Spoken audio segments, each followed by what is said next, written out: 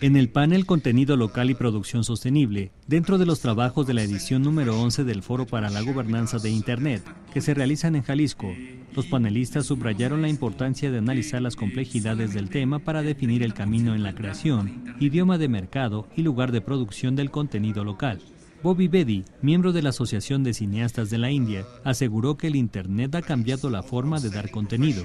pero recordó que el caos podría ser temporal porque así sucedió cuando apareció la televisión y se pensó que el cine moriría. Consideró que el problema está en los modelos de negocios y poner en orden el sentido legal de los contenidos. Paolo Lanteri, de la Organización Mundial para la Propiedad Industrial, mencionó que hablar de la industria de contenido local profesional no quiere decir que a la OMPI no le interesan otros sectores, pero es importante saber cuáles son sus capacidades.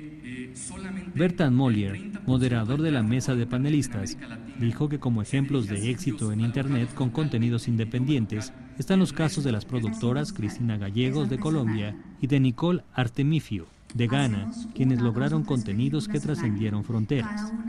Con información e imágenes de Hugo Pescador y Lucía Lizárraga, corresponsales en Jalisco, Notimex.